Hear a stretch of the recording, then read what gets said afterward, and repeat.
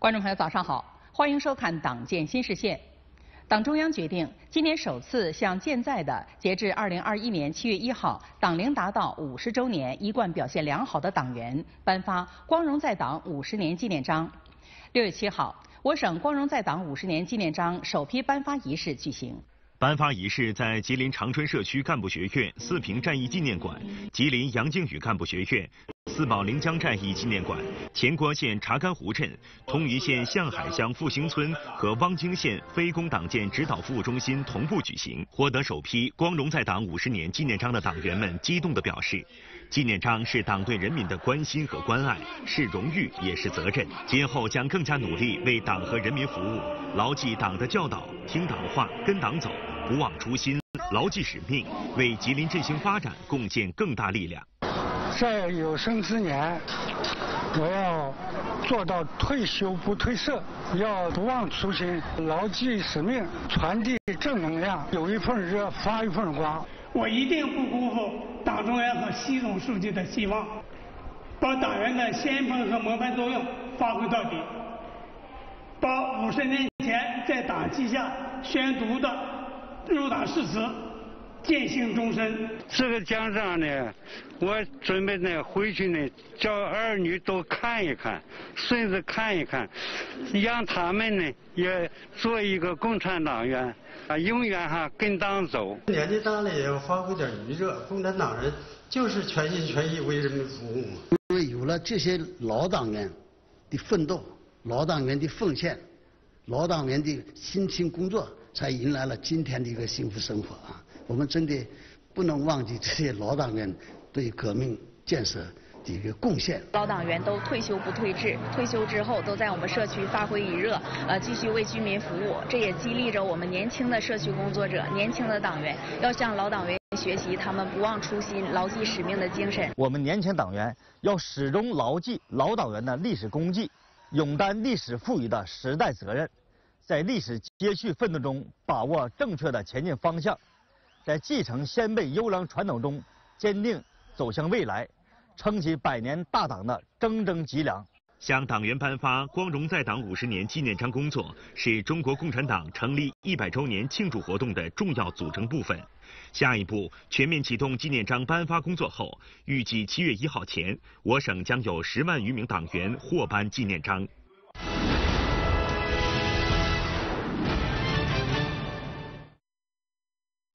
六月八号，由吉林省委组织部、省委党史研究室联合举办的庆祝中国共产党成立一百周年、传承红色基因、赓续红色血脉、思想铸魂高端论坛在长春举行。全国党建研究会会长李景田指出，吉林省深入贯彻落实习近平总书记视察吉林重要讲话、重要指示精神，组织实施了传承红色基因、赓续红色血脉、思想铸魂行动计划。此次论坛作为行动计划的重要组成部分，将为全面建设社会主义现代化新吉林凝聚广泛共识、提振信心决心、汇聚强大力量。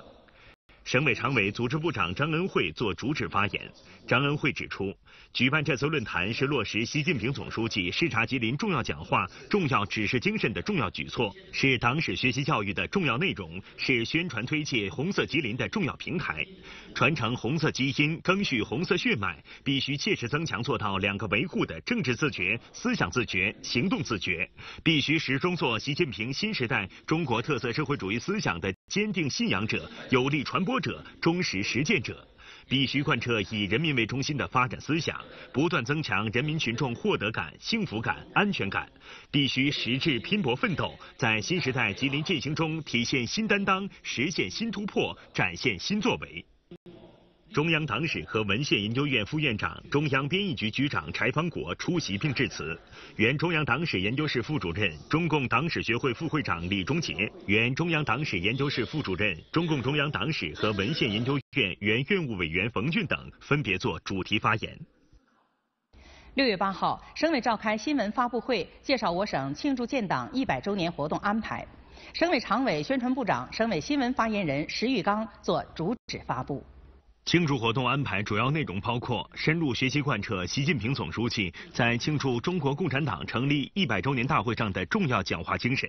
深入开展党史学习教育，开展全省两优一先评选表彰，举办“信仰的力量”吉林省庆祝中国共产党成立一百周年专场文艺演出，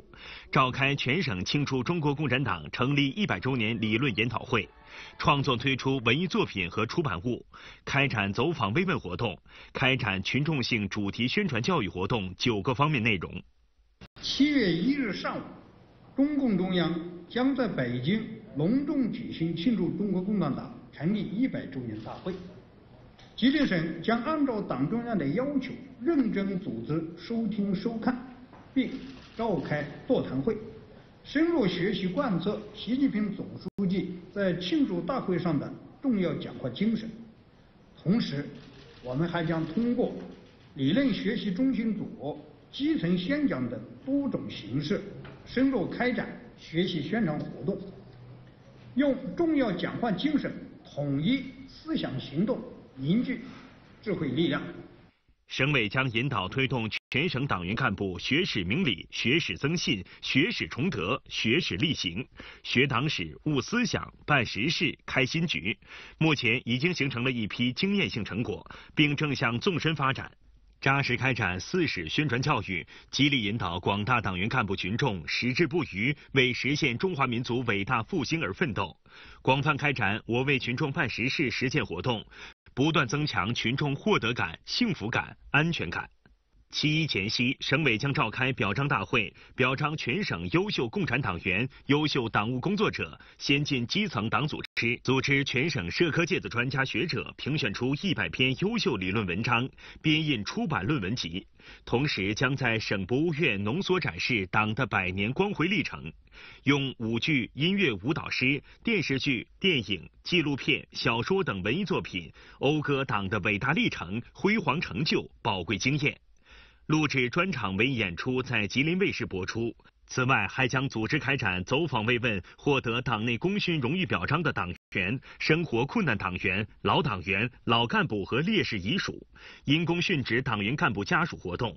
开展永远跟党走群众性主题宣传教育活动，开展党旗在基层一线高高飘扬等主题实践活动，开展入党宣誓、讲党课、优秀党课展播等宣传教育活动。此外，我省还对社会氛围的营造、光荣在党五十年纪念章颁发、系列主题新闻宣传等工作也做了具体安排部署。各地区各部门将根据中央和省委的部署，结合实际，在坚持正确方向、广泛动员群众、着力改善民生、严格规范要求的基础上，组织开展相关庆祝活动。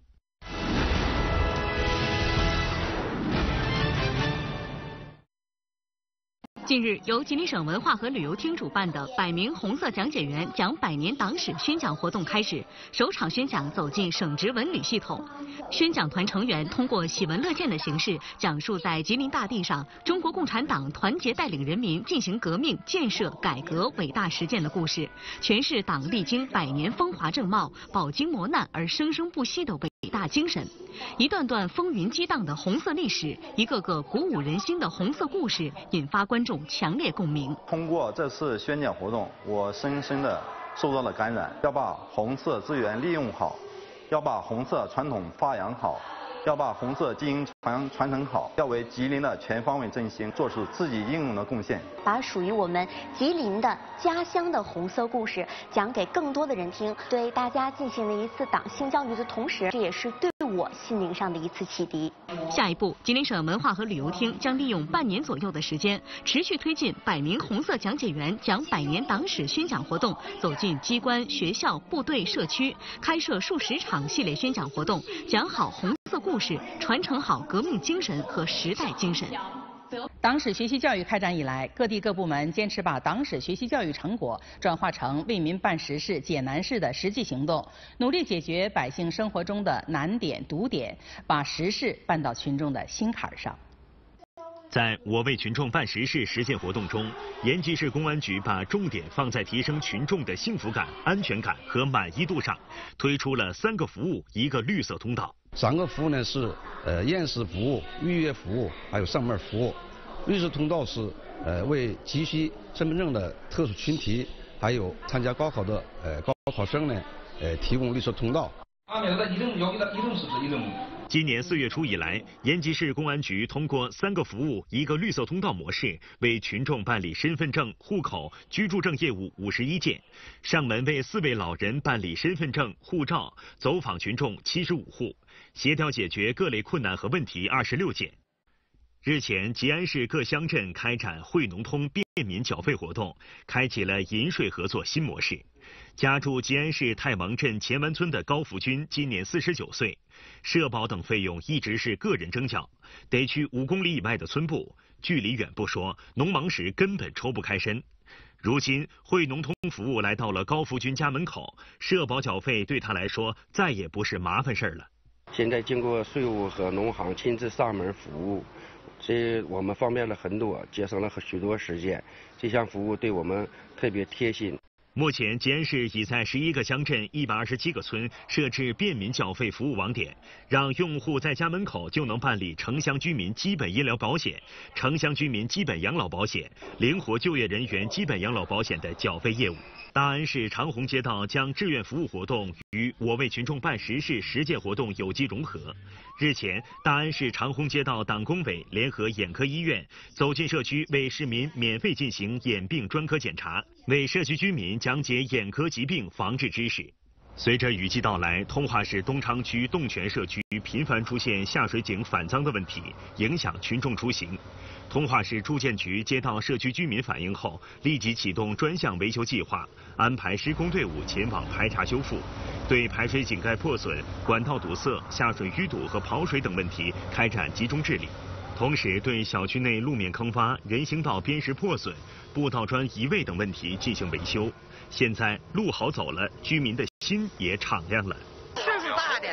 走这个道吧，有水有泥的，完了坑坑洼洼的，绝对不好走。这回修好了，大伙老高兴了。镇赉县在我为群众办实事实践活动中，深入开展农村人居环境再提升行动。镇来镇架集村围绕池塘、沟渠等五项清洁、柴堆、菜堆、粪堆等十堆清理、农机具乱停、脏水乱倒、牲畜乱跑等八乱治理，摸索总结出两项制度，即保洁制度和监管制度，并形成可复制的架集经验，在全县推广。保洁员负责公共区域的卫生，农户整理自家庭院，我们这个村两委成员负责报片这个责任人直接是。报备给镇党委，镇党委会定期的、不定期的深入各各村各屯进行检查，发现问题直接对这个呃包片的责任人进行问责。通过综合治理，村子的风貌焕然一新，村民幸福感和满意度得到提升。白山市公安机关坚持从群众利益出发，将我为群众办实事实践活动贯穿到党史学习教育和政法队伍教育整顿全过程，用一件件暖心事一次次解民忧，拉近警民距离，和谐警民关系。都是一串送礼，受理完之后一两天内，他就给你邮到你的那个地址上，不用自己去来亲自取。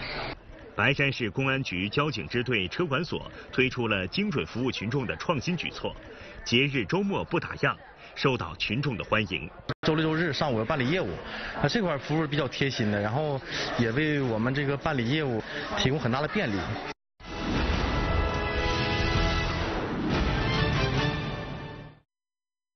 节目的最后，让我们一起走进延边革命烈士陵园，追忆红色历史，汲取奋进力量。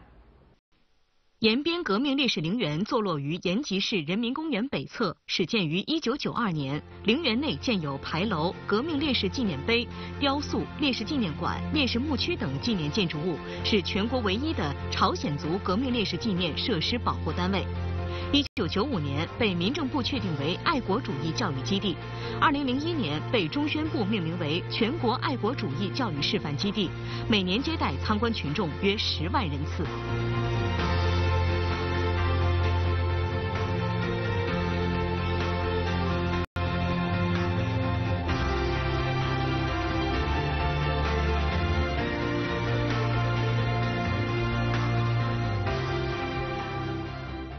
今天的节目就是这些，感谢您的收看，下周同一时间我们。